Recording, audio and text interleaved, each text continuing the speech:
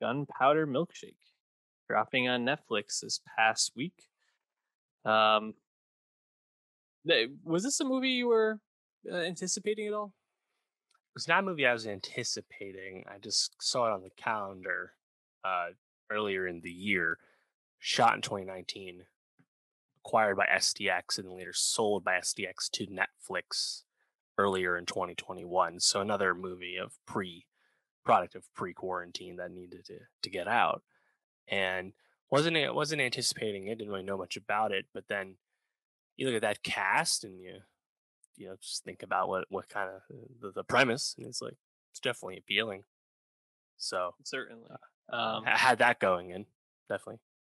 Yeah, I, I obviously I'm not as tuned in, tuned in as you are. Um, I, was I had no expectations to go into this movie, and I found it to be pretty fun, a little long, um, but some of the action set pieces are unique, not things we've seen in other uh, I think action films before. It had a very um, Baby Driver mm. type of feel to it to me uh, a lot of the time. I mean, even I guess like this is Drive, but like the way she wears that uh, you know, like bowling jacket zipped up all the way reminds me of Drive, and then the stylistic choices reminded me a little bit of Baby Driver. So there mm-hmm. there was some familiarity in in the overall um, feeling to the movie. Right.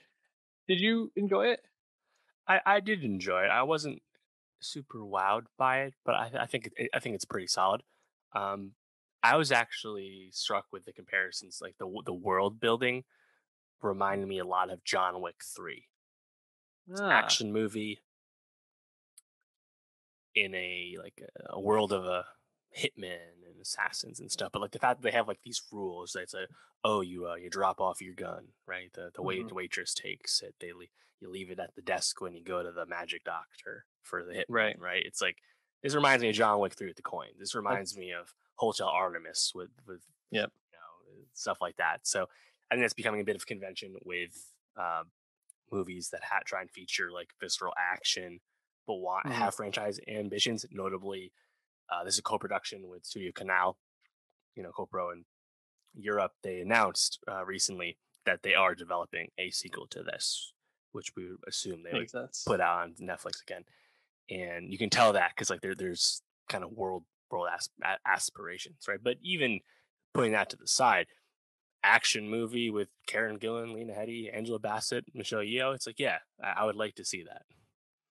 Yeah, and I thought it was pretty enjoyable. Like I said, um, you know, I think uh, Karen Gillan uh, as Sam is a little bit wooden. I think that's intentional with the character's, um, you know, backstory being orphaned and put into this world of uh, you know, being an assassin from a very young age, not having a lot of, um, you know, support in her life beyond the the kindness of some of the people in her life. But, um, you know, I I felt like the, the standout things to me were just I, I think about that action scene right where her like arms aren't working and how they like thought of that super creative and like all the aspects yeah. that I thought were really fun.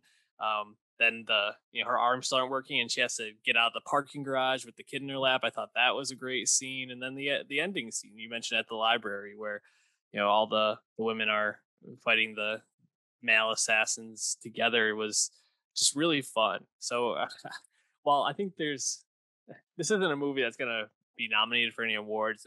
I guess maybe some technical ones uh, potentially. I don't I don't think so, but mm-hmm. um, I think overall it was still a really just a fun, pleasurable, yeah. turn your mind off watch.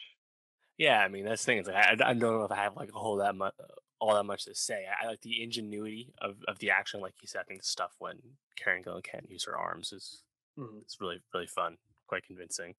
Um, this doesn't have quite the like visceral R-rated like f you up shit like John Wick or, or Nobody earlier this year of Bob Odenkirk. It's not quite at that level, but it, but again, it's it's in that vein. And I agree. Like I like Karen Gillan overall, but I actually think she's better when it's a little lighter, like uh like in Jumanji. You know, it's still kind of yeah. action stuff, but she's just I think a better performer that way. This is like her trying to be like Uma Thurman and Kill Bill, n- not as convincing. Like Yeah, can do the action of it all, but like the, the the emotion of it is maybe not all the way there. How did you feel about Angela Bassett? I, I just something about her performance I just found like very strange. I don't know. Yeah, I'm not. I don't, I'm not sure. Like her, her and Michelle Yeoh in particular, it's like they they not someone I two two actors I would have expected to pop up in something like this. Oh. You know, given Not the at all. status of their their careers. You know, Lena Headey, it's one of her first notable roles post Thrones, by from what Mhm. I can remember. Um, but yeah, like Yeoh and and Bassett, they're just kind of there. But I, I don't know. I, I kind of like the energy, like the the stuff with the library. Like in the early Yeah. going when they're like dressing down Karen Gillan, deciding if they're gonna kill her or not. Like I like that. That was fun. Well, I wanted to ask you, you know, in that library scene, they they all use different weapons. Uh, you know, Florence Michelle Yeoh has a chain that she's like whipping around, and Yeah. Angela Bassett's got the hammers. What would be your weapon? What would you want to use in that that scenario? Oh god, that's a good question. I thought the chains Um, were pretty pretty sick, honestly. Yeah, in video games, when it's melee weapons, I always try and get something super up close. So I don't something boring like a, just a normal sword, I guess. I don't know. Yeah. Oh, not how not a, a gold bar. That that was a, a pretty fun. I need a little too. range. I need to take advantage of my long arms. That's that's true. Play to your strengths. Um, eh, you know, I think overall, if you're on Netflix looking for something to watch, you can do a lot worse than Yeah. Gunpowder Milkshake. So And just one out. last note. I really love the laughing gas stuff.